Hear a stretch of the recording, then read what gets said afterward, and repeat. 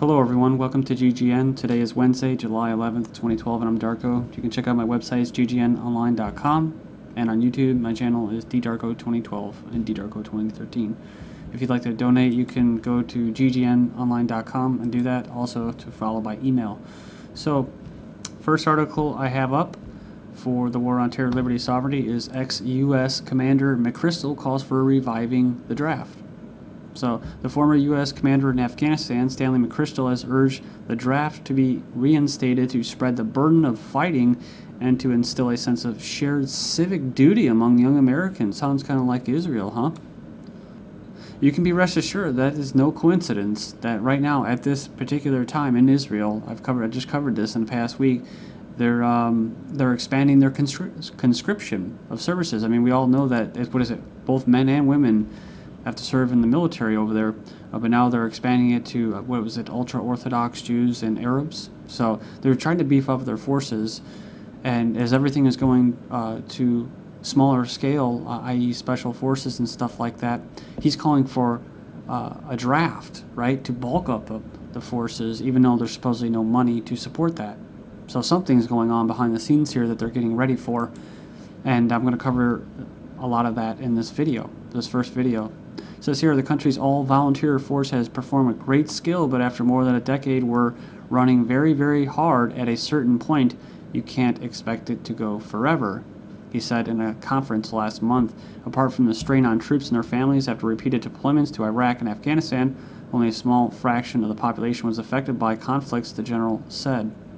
That was part of um, Donald Rumsfeld modern war type warfare. So that was actually designed. It's less than 1% of Americans touched by this, he said in the event organized by Aspen Institute. So, yeah, he was uh, calling for a national service after high school or college. And it says here that I don't, this is what he said, I don't think young people would really fight this. They're talking about the draft if it was fair, if everybody did it. I'm not talking about military, I'm talking about all kinds of things. It's not whether they go build roads and parks or that sort of thing, it's what you put inside them because once you've contributed to something, you have a slightly different view of it. So it's a very collectivist statement. We have Russian warships on maneuvers and will resupply in Syria. A dozen Russian warships from three fleets are participating in a joint three month exercise. It goes on and it says that the, they're going to be visiting the Syrian port city of Tartus, where the Russian base is located. It says the drills are not related to the Syrian conflict. Okay. The interfleet group under a single command will perform a number of scheduled combat preparedness tasks while following their route in the ocean zone, the ministry statement says. And this is basically the same thing Russian warships exercise in the Atlantic and Mediterranean. And some more Russian news. We have Russia hopes to prolong military base presence in Tajikistan. So, so the Russian military base in the country was opened in 2004 and is the largest Russian base for ground forces abroad with up to 7,000 military servicemen stationed there. And it expires, well, basically their presence in the country expires in 2014. So I found this kind of interesting. Under the current uh, agreements, Russia does not pay Tajikistan for its military base, but renders the country's uh, military and technical assistance. So, in other words, we got your back. Kyrgyzstan to raise rental fees for Russian military bases. And the reason they're probably able to do this, basically, um, uh, negotiate this, is because, well, the West likes Kyrgyzstan. They basically they have their eye on them and they're kind of not backing them, but just like other countries, you know, like Israel with Azerbaijan and that. And I tried looking for this article, but it doesn't come up. But either way, this title, "The West Plans to Partition Kyrgyzstan Are Nearing Completion," that was in 2010. Just to give you a, just a quick background. But currently, they host four Russian military bases. Next up, we have PG Arab states seek to topple Syria government to weaken Iran. I've mentioned this many times before. That's basically what it's all about. Take down Syria to uh, get to Iran. So senior Russian official says the Sunni Persian Gulf littoral states seek to topple the government of Syrian President Assad in order to weaken Iran. These Gulf countries would like to see the Sunnis take power and establish a religious state just like in uh, the Persian Gulf and weaken the Shiites who have been ruling Syria as well as Iran, which is currently regarded as Syria's ally. So Saudi Arabia, Qatar, and Bahrain treat Iran with much animosity and see a toppled Assad as a way to weaken the Shia Iran. Then we have Vladimir Putin saying timely forecast of international events are needed. He says, This is, I'll just go through editor's note because it was kind of good. A shifting, volatile world makes leaders feel uneasy. This is why the U.S. government is fixed on Twitter, using it like a windsock. We, he says we should influence more actively the situation where Russia's interests are directly involved, looking ahead and acting accordingly, being ready for any, even the most unfavorable turn of events, he said. Uh, it says here it was a meeting with Russia's foreign ambassadors in Moscow on Monday. Now Kofi Annan is enlisting Iran to solve the Syrian crisis. It says details of the plan are still unclear, but international envoy agrees with Assad on a framework involving Tehran, Iran, and staunching bloodshed. So basically, the rebel terrorist fighters dismissed any role for Iran in a plan they and some experts say have little hope for succeeding. So it's no surprise that the people that are funding these rebel terrorists, the opposition the United States, has rejected Iranian participation as well in the international meetings.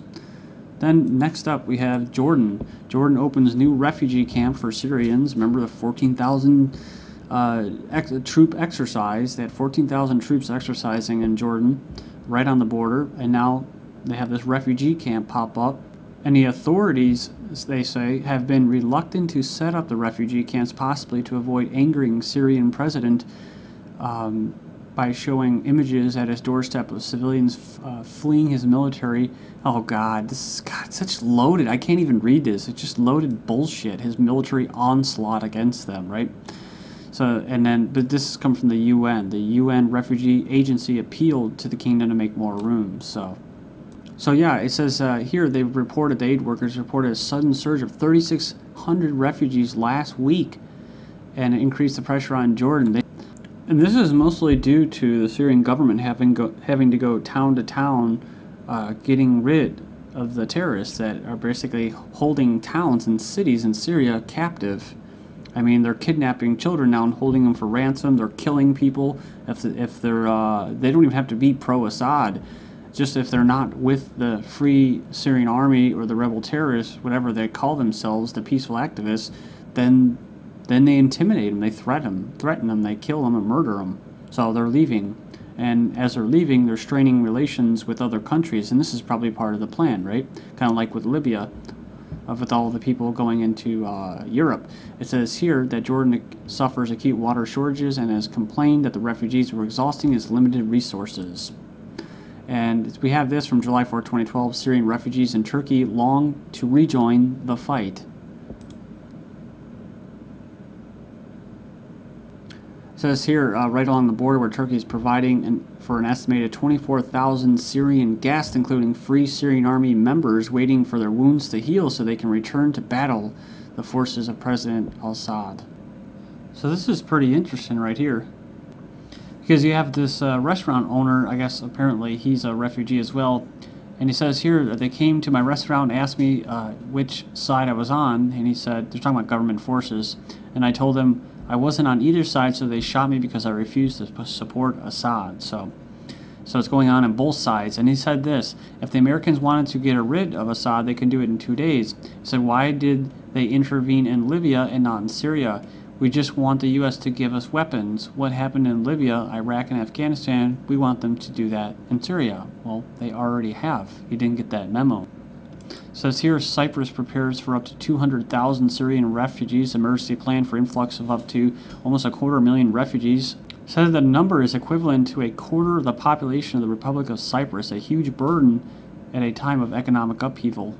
And if you remember what um, Tarpley was saying, Webster Tarpley, uh, about Syria, he was saying that the goal is to basically take a, take down all of the countries around them. This is when he was referring to Turkey, saying that they would use Turkey as a as their little puppet and, um, and surrounding countries, and then they would fall afterwards. And speaking of Cyprus, Cyprus Energy skirmish, Israel is prepared to increase its military presence in the eastern Mediterranean. From editor's note again, remember when Israel recently denied plans for bringing their military into Cyprus region? It says it seems their first response pattern is to castigate or severely punish whoever leaked the info, then deny and later do it anyway, thinking no one pays attention. And it basically goes in there and says that uh, this is creating tension with Lebanon and Turkey and that they have all these types of warships and stuff like that uh, around in that area to start extracting natural gas and that in 2013. Next up, Turkey reportedly skirting sanctions by paying for Iranian oil and gold.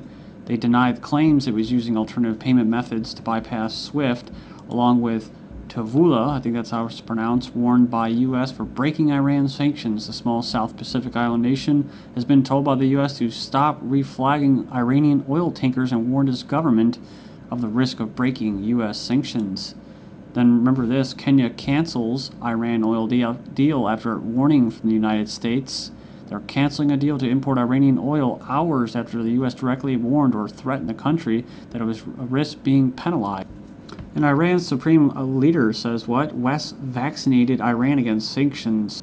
He dismissed harsher sanctions imposed on Iran this month over its disputed nuclear activities, saying the country was 100 times stronger than before says here these days Westerners are being sensational about sanctions, but they don't understand that they themselves vaccinated Iran through the sanctions imposed over the last 30 years.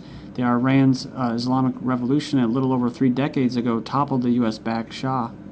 And oilprice.com saying EU's Iran sanctions are intended to appease Israel ahead of the elections so that they don't basically get all trigger happy and do a unilateral strike. And that's what they're actually talking about in Israel right now says here why oil prices are about to collapse. Oh yeah, and the thing is, is if they go ahead and they strike Iran, they're worried that Iranians are going to actually uh, band together because not all of them are with their government, and um, a strike on Iran from Israel would actually unite them, and that's why they're holding back from a unilateral strike. And if you remember this article, hopefully you do, from January of this year, why oil prices are about to collapse. Uh, we move down here and it talks about Iran. Uh, the oil prices may have quote surged today, but uh, in just in the recent uh, what couple weeks, they've generally been lower. It says here while there would be undoubtedly a short-term price rise, which there was, cheered on by the usual suspects. In the medium and long term, the embargo will act to reduce oil prices. This is because Iran will necessarily have to sell oil at below market price to China and others. And since the market is already oversupplied, particularly in Europe, this will undercut market prices generally. Syria's fighting spilled into Lebanon and five have been killed. And it even goes in there and it actually admits, it says here, rebels fighting to unseat Assad have used the north, uh, used North Lebanon as a base. Then we have Israeli soldiers cross into Lebanon's border area. Israeli so soldiers have once again crossed into Lebanon in clear violation of the country's sovereignty and UN Security Council resolution. According to reports, an Israeli foot patrol crossed the UN drawn blue line and entered Lebanese soil on Wednesday and stayed in the area for hours. The violation of Lebanon's airspace, territorial waters, and border by Israel, Israeli military occurs on almost a daily basis. Hezbollah uncovers spy cell working for U.S. and Israel. The Lebanese resistant movement Hezbollah has uncovered a three-member spy network uh, working with U.S. and Israeli intelligence services during the past month. And do you remember this article? Israeli general says populated areas will be targeted in next Lebanon invasion and pre predicts a new Lebanon invasion after collapse of Syria. He basically promised bloody attacks on dense populated areas, adding that the damage will be enormous.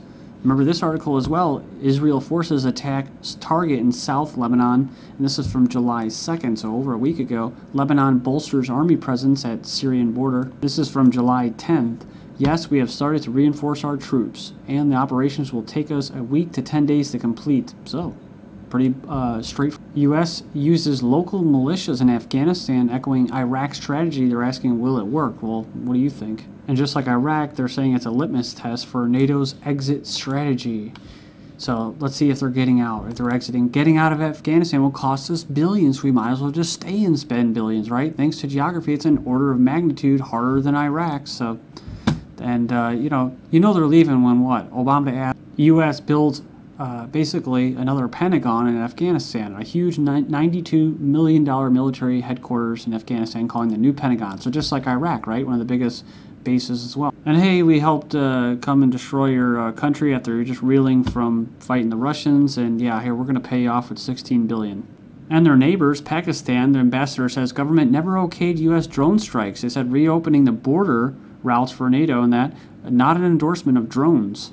And then, of course, they they struck on them as soon as they opened the border and killed some people. And a CIA drone strike killed six civilians in Somalia. It says here the International Criminal Court gives Congolese warlord 14-year sentence for using child soldiers. Someone's comment said it was set up for Africans and non-Europeans. That's why war criminals like Tony Blair and Bush are still running free, and while thousands of Congolese flee to Uganda. Thank you.